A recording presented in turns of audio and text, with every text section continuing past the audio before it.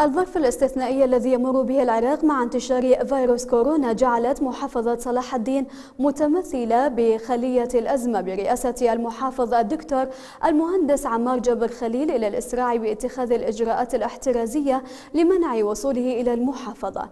الزميل أحمد صلاح الدين واكب الأحداث وأعد التقرير التالي.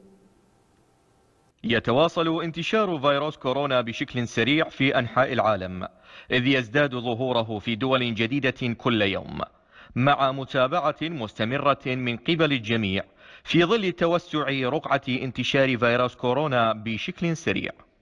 فتحولت معظم الدول إلى بؤر للمرض لا ينصح بزيارتها وتمنع الطائرات القادمة منها. وسط تسارع في التطورات المتعلقة بهذا الفيروس وتأكيد منظمة الصحة العالمية أنه لا يمكن إيقافه بشكل فوري وإنما يمكن فقط العمل على منع انتشاره في الوقت الراهن. وفي إثر ذلك اتخذت جميع المحافظات العراقية سلسلة من الإجراءات الاحترازية لمواجهة كورونا منها في محافظة صلاح الدين.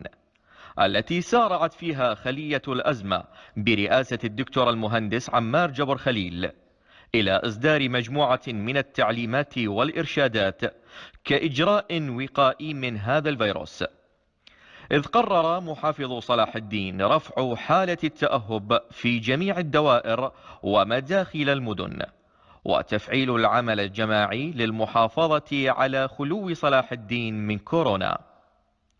مع وجوب الابتعاد عن المجاملة في تطبيق الإجراءات الاحترازية لحماية أرواح المواطنين ومراعاة خصوصية صلاح الدين جغرافيا ومجتمعيا.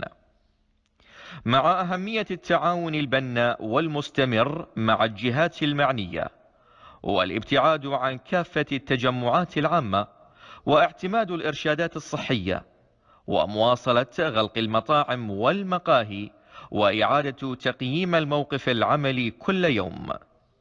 لحماية المواطن في جميع أقضية ونواحي المحافظة من خطر هذا الفيروس. مطالبا الحكومة المركزية ومنظمة الصحة العالمية بدعم ورفد المحافظة بكافة المستلزمات الصحية والطبية. في ظل تزايد رقعة الانتشار لكورونا وخصوصا في المناطق المحيطة بصلاح الدين.